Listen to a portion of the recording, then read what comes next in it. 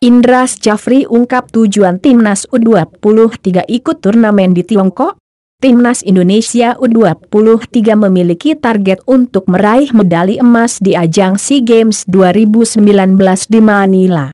Indonesia akan mempersiapkan diri dengan mengikuti turnamen mini di Tiongkok bertajuk Chongqing Three Gorges Bank Cup International Football Championship 2019. Selain tuan rumah Tiongkok, Dua negara lain yang akan ambil bagian adalah Arab Saudi dan Yordania.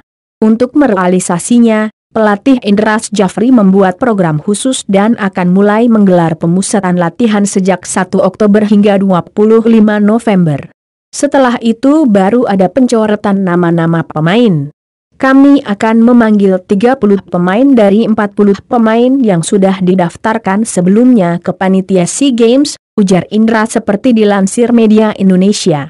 Chongqing Three Gorges Bank Cup International Football Championship 2019 akan dimulai pada 7 sampai 15 Oktober mendatang.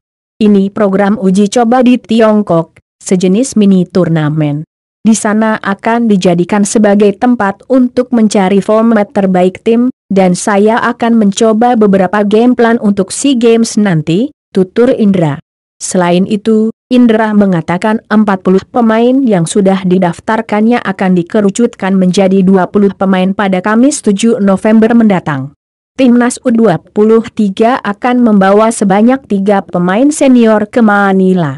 Kita juga sudah daftarkan lima pemain senior sesuai regulasi.